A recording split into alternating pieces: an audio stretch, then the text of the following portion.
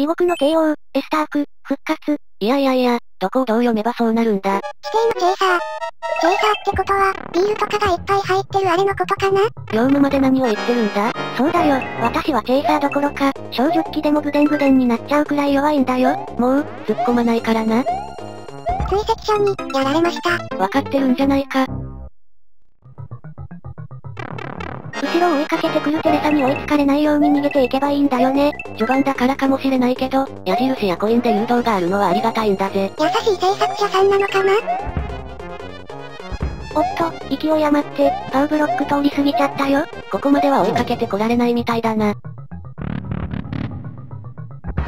あれ？スピラン系のコースなのに中間ポイントがあるんだね。ありがたく、使わせていただくんだぜ。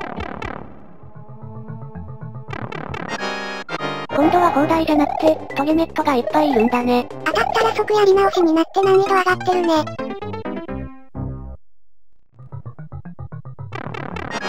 こういうのって、うまく流れに乗れた時気持ちいいんだよな。うまいプレイヤーさんならね。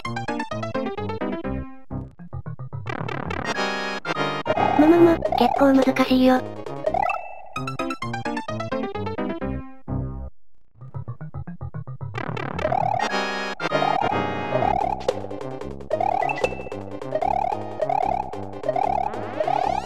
れ矢印で上に行けってなってるよ。トゲネットうまく踏めなかったから、とりあえずこのまま進んでみるよ。そしてゴール発見。まあ、当然やり直して扉に入るんだよな。っておい、何やってんじゃこらだって、タイムアップ待つの、めんどくさいんだもん。ああ、これでまた視聴者さんが離れていっちゃうよ。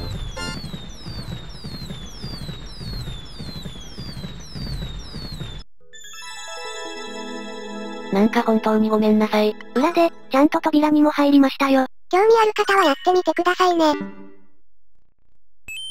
プロデューサーを踏むまで、走るのやめない。皆さんわかってらっしゃると思いますが、当然 P スイッチのことです。あれ上からドッスンが落ちてくると、うまく走れないんだね。ここはスピンで上を行けばよかったのかな。よし、今度はうまくいけたな。P スイッチを踏むまでって、どこで踏めばいいんだろう？ゴールフラッグのところにある、あれのことなんじゃないかな？時間設定も結構厳しいな。P スイッチを運んでみようかなと思ったけど、そんな必要はないのかな。余計なことを一切しないでただ走り抜けるってのが正解なのかもな。そ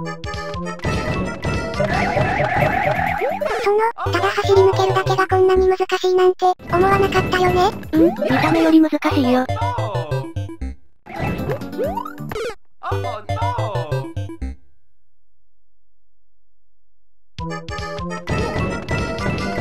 ドッスンが落ちてきても、完全に無視でいいみたいだな。上の段に上がるときも、ミスしないで一発で登っていくよ。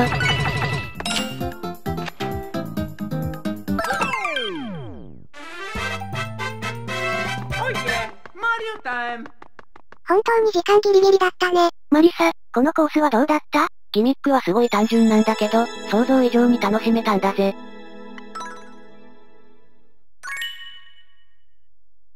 では、今日も最後に演奏系のコースでお別れしましょう。決して、尺稼ぎとかじゃないんだからね。ヨウム、お前、黙っとけ。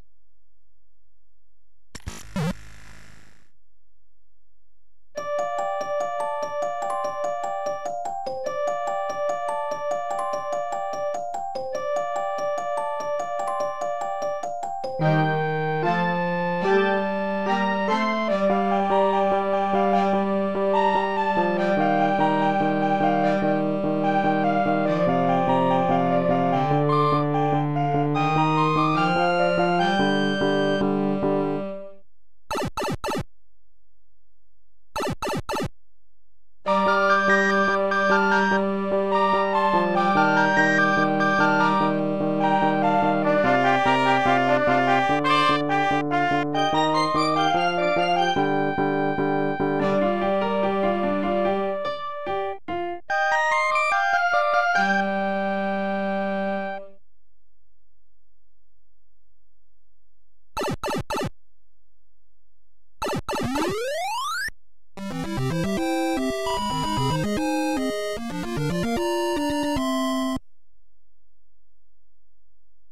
それでは、今日はこの辺で終わります。また、明日お会いしましょう。それでは皆さん、ご視聴、ありがとうございました。